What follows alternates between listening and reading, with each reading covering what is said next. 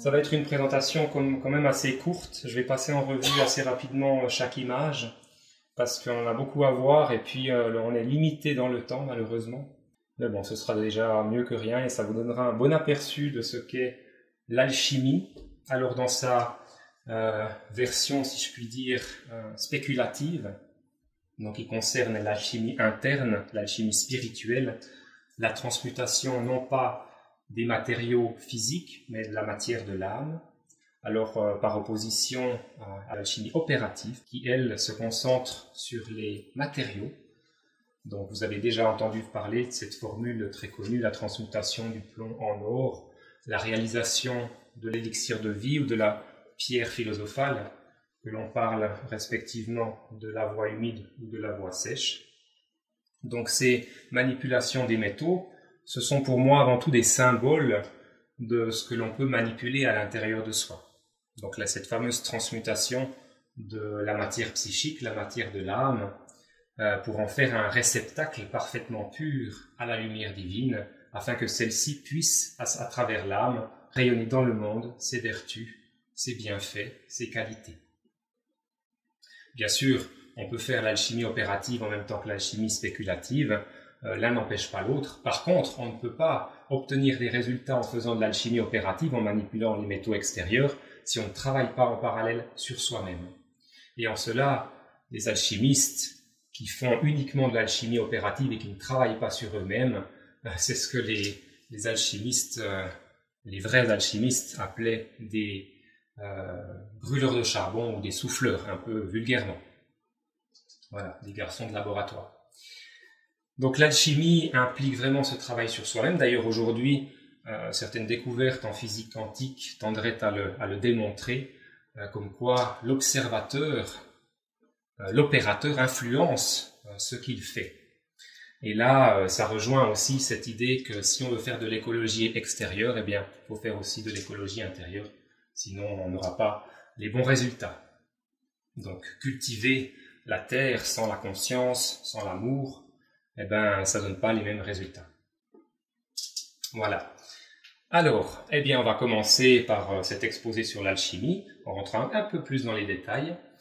Euh, l'alchimie, elle se compose en trois euh, étapes. C'est ce qu'ils appellent le grand œuvre alchimique. Donc, ça débute par l'œuvre noir, ensuite il y a l'œuvre blanc, et ensuite, il y a l'œuvre rouge. Alors, on va passer en revue ces différentes étapes, mais avant d'entrer dans le grand œuvre, qui est en fait euh, le processus de, la quête spirituelle, hein, du, du travail sur soi-même au niveau spirituel, eh bien, je vais vous décrire dans quel état on se trouve. Et là, c'est quasiment l'état de la majorité euh, des êtres humains, avant qu'ils entrent dans une quête spirituelle de façon juste, parce qu'on verra aussi qu'il ne suffit pas de lire euh, des écrits de spiritualité de grands maîtres, il faut bien pratiquer et dans le juste positionnement intérieur pour entrer dans la quête spirituelle. Sinon, ça reste des concepts. Alors, avant d'entrer dans ce grand œuvre alchimique, on est tous dans ce qu'ils appellent l'errance. L'errance au niveau spirituel, on pourrait parler l'illusion, l'ignorance, et on est dans les dédales du labyrinthe, on n'est pas au centre. Et j'ai euh, figuré en fait ce, dédale que vous pouvez de toute façon très très bien voir. Hein, c'est ces, ces, contours sinueux là, en gris. Et ce qui est intéressant, c'est que vous voyez bien qu'il y a des allers et retours. Donc on va dans une direction, après on, tourne, et puis on va dans l'autre direction. Et ça, euh, ça peut faire penser aux circonvolutions du cerveau, de l'intestin, mais sur le plan psychique, eh bien ça peut très bien être les impulsions opposées désir, aversion, attachement, rejet. On va dans un sens, tout d'un coup, ben on va dans l'autre. C'est comme si on était ballotté euh, par ces impulsions contraires, constamment sous leur influence. Et ça, c'est ce qui caractérise précisément la période de l'errance, qui est l'ignorance de l'être humain, parce qu'il est complètement sous l'influence de ces fameuses impulsions contraires qu'on a appelées aussi les samskaras. Et donc, euh, ben, s'il est sous l'influence de ses impulsions contraires, il est aussi sous l'influence de son ego. Voilà. Donc, le parcours du labyrinthe euh, va être euh, semé d'embûches, de, pièges, qui vont progressivement quand même permettre à l'être de se poser des questions, de se remettre en question.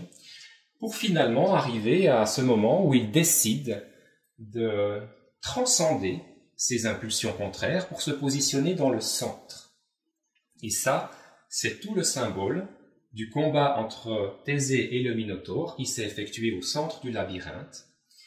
Euh, Thésée a vécu là une épreuve initiatique. Il avait l'occasion d'entrer dans le grand œuvre alchimique, mais malheureusement il a échoué. Alors pourquoi il a échoué? Parce qu'il a voulu terrasser la bête en employant exactement les mêmes impulsions dont il était l'esclave lorsqu'il était dans l'errance. C'est-à-dire qu'il a voulu terrasser la bête à partir des impulsions contraires, notamment l'impulsion de rejet. Le Minotaure, euh, bien sûr, dans la mythologie, on le considère comme une, créature extérieure à Thésée, mais d'un point de vue ésotérique, on pourrait dire que eh bien, ce Minotaure représente ces impulsions contraires à l'intérieur de Thésée. Donc, en, en luttant contre lui-même, forcément, il se maintenait dans la dualité. Il renforçait ce contre quoi il cherchait à s'opposer. Voilà. Et ça, euh, cette symbolique du combat entre Thésée et le Minotaure, on le retrouve dans d'autres symboles. Je vais passer l'image plus loin. C'est la fameuse onzième lame du tarot de Marseille. Et ça, ça démontre quel est le véritable positionnement juste qui va, qui va permettre d'intégrer en soi-même ces impulsions conflictuelles pour les concilier et les transmuter. Donc, si Thésée il faut savoir que Thésée, en fait, il s'est servi de sa massue de cuir pour terrasser le Minotaure. C'est un symbole de bestialité. Mais il avait aussi l'épée d'or. Et l'épée d'or, c'est un symbole du verbe, mais aussi de la conscience équanime. Donc s'il s'était servi de son épée d'or, symboliquement, eh bien, il aurait positionné sa conscience dans l'équanimité et il aurait triomphé spirituellement de ses impulsions contraires à l'intérieur de lui-même. Et là, il serait entré dans le grand œuvre alchimique. Il aurait débuté la quête spirituelle. Et pour la petite histoire, eh bien, euh, les ésotéristes vous diront qu'on sait que Thésée a échoué dans, sa quête spirituelle parce qu'en rentrant euh, chez euh, son père le roi érigé, il aurait érigé le pavillon noir sur son bateau et son père, voyant cet échec spirituel symbolisé par la couleur noire, se serait jeté dans la mer à laquelle il a donné son nom, la mer Égée. Pour la petite histoire. Ça, c'est une interprétation que vous lirez pas dans les livres de mythologie. Euh, je vous invite, si ça vous intéresse à aller plus loin, à lire Annick de Souzenel qui a développé de façon admirable ces notions-là. Je vais revenir maintenant euh, au labyrinthe. Donc, quand on se positionne dans l'équanimité, ce qu'on travaille durant les exercices de méditation, eh bien, euh, on empêche ces impulsions contraires de nous influencer. Donc il y a une stabilité, il y a une paix de l'esprit. Et puis il y a un autre symbole très très important qui permet de signifier cette conciliation des opposés conflictuels. C'est la croix. Voilà. Donc là, je vais vous lire le petit texte que j'avais écrit à l'époque. Le grand œuvre débute par la mort initiatique, symbolisée par la crucifixion. Ésotériquement, c'est se placer au centre de la croix, là où les opposés conflictuels sont neutralisés grâce à la conscience équanime. Ces opposés conflictuels sur la croix, ils sont symbolisés par la barre horizontale. À gauche, on pourrait avoir le désir, à droite l'aversion, donc l'attachement, le rejet, etc. Donc là, effectivement, le Christ n'est pas tout à fait, euh, Jésus n'est pas tout à fait au centre de la croix, mais ce symbole de la croix, de la crucifixion plus précisément, symbolise euh, le positionnement au centre c'est-à-dire dans l'équanimité, là où ces impulsions opposées ne peuvent plus nous influencer. Et puis pour la petite histoire, euh, les religieux, les personnes qui abordent la religion d'un point de vue euh, exotérique vous diront que Inri, c'est Jésus le Nazaréen, euh, roi des Juifs. Alors ça, c'est en français, la formule est latine, je ne la connais pas par cœur. Et puis les alchimistes vous diront que ça veut dire tout autre chose, ça veut dire par le feu, la nature se renouvelle entièrement. Voilà. Ce qui est intéressant, c'est que quand on se positionne au centre de la croix, dans l'équanimité, par l'effort de concentration de l'attention juste, eh bien, comme je vous l'ai dit l'autre jour, souvenez-vous-en, on va ouvrir la porte de la conscience à la lumière spirituelle, qui est considérée souvent symboliquement comme un feu. Saint-Esprit pour les chrétiens ou la bouddhie pour les orientaux. Voilà, je vais passer, on va essayer d'un peu avancer. Il y a un autre symbole euh, qui permet de, bien comprendre euh, comment on passe de la phase de l'errance au grand œuvre alchimique. C'est le fameux cas du d'Hermès. Donc on, le, on, le, connaît souvent dans sa représentation classique, mais on ne sait pas trop par contre comment il a été constitué. Alors la légende nous dit que c'est le roi euh, que c'est le messager des dieux Hermès ou le dieu Mercure chez les Romains qui, en voyant deux serpents se quereller, c'est l'image à gauche, eh bien, euh, lança son bâton entre eux. Donc ça, c'est signifié par, euh, figuré par la, la, statue là. On voit qu'il met le bâton entre les deux serpents, qui a permis en fait de les faire passer d'un état de chaos à un état d'harmonie. Ça les a conciliés. Et ça, c'est vraiment le passage entre l'errance et puis l'œuvre noir le geste de jeter le bâton entre les deux serpents, c'est précisément se positionner dans, notre axe vertical, c'est-à-dire retrouver la conscience équanime. Voyez? Donc tous ces symboles traduisent finalement euh, des choses qu'on peut vivre à l'intérieur de soi. Il y a une autre formule qui est très connue des alchimistes, c'est la formule vitriol. Alors c'est un acronyme, euh, c'est aussi une formule latine comme INRI, qui veut dire, si on le traduit, visite l'intérieur de la terre, et en rectifiant, tu trouveras la pierre cachée. Alors visiter l'intérieur de la Terre, ben, la Terre c'est notre corps dans l'alchimie interne, et rectifier ça veut dire transmuter, ça veut dire remettre à l'endroit ce qui avait été euh, dévié ou corrompu, si vous voulez. Et la dernière, euh, le dernier aspect de cette phrase, c'est tu trouveras la pierre cachée. Donc, à partir de ce processus alchimique de transmutation, qu'est-ce qui va en découler? Eh bien, euh, la pierre cachée, et ça c'est ce qu'ils appellent aussi la pierre philosophale, et du point de vue interne, euh, on peut être nous-mêmes une pierre philosophale vivante, et on verra ça quand on arrivera à l'œuvre rouge. Parce que là, en fait, c'est un long processus. Visiter l'intérieur de la Terre et rectifier, ça peut prendre des années avant de réaliser cette pierre philosophale, tant du point de vue opératif que du point de vue euh, interne. Et je, je, le dis déjà, en fait, trouver la pierre cachée, devenir une pierre philosophale vivante, eh bien, c'est atteindre l'éveil spirituel, tout simplement. Alors, quand on, entre dans l'œuvre noire, après avoir euh, euh, vécu cette mort initiatique, c'est-à-dire ce renoncement euh, à l'influence en soi-même des impulsions contraires, eh bien, on va commencer à vivre tout un processus de transmutation de la matière psychique et donc ça résulte de la conciliation de ces opposés qui étaient auparavant conflictuels. Donc là, on les concilie. Et ça, c'est très bien, très souvent représenté dans les gravures alchimiques par euh, soit deux serpents, les serpents du caducée, deux dragons, un dragon ailé et puis un dragon qui n'a pas d'aile, pour euh, symboliser en fait les énergies yang du ciel et puis les énergies yin de la terre.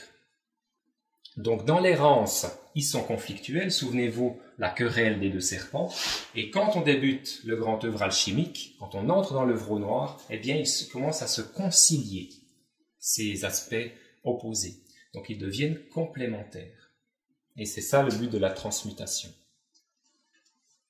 Là on retrouve le caducée sous sa forme classique, donc vous voyez porté par euh, Hermès, toujours avec euh, le soleil, la lune, et puis sur l'image de droite, vous le retrouvez au centre, toujours avec un lien avec le soleil, la lune.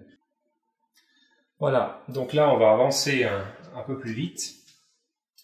Euh, donc on va, durant l'œuvre noir et l'œuvre blanc, euh, purifier la matière et on en sort par ce qu'ils appellent la seconde mort initiatique, à laquelle euh, va succéder une renaissance qui, euh, pour les alchimistes euh, chrétiens, est la résurrection.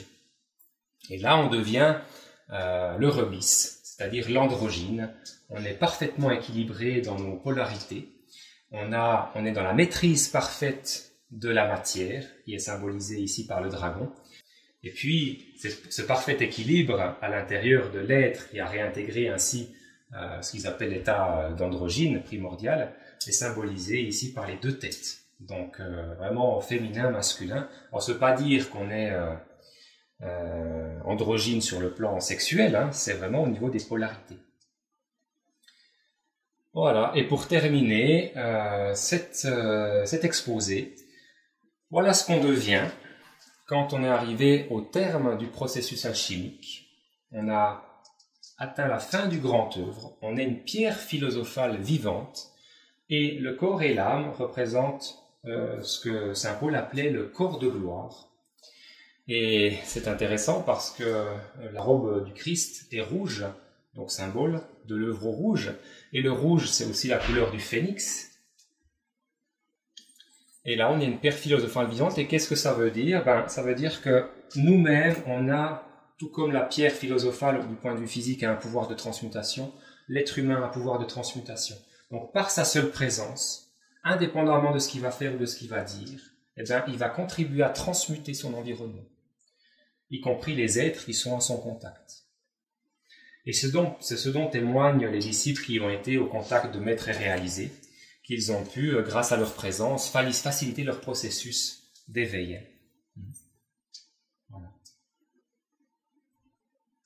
Donc le Christ, pour les hermétistes chrétiens, c'est une pierre philosophale vivante.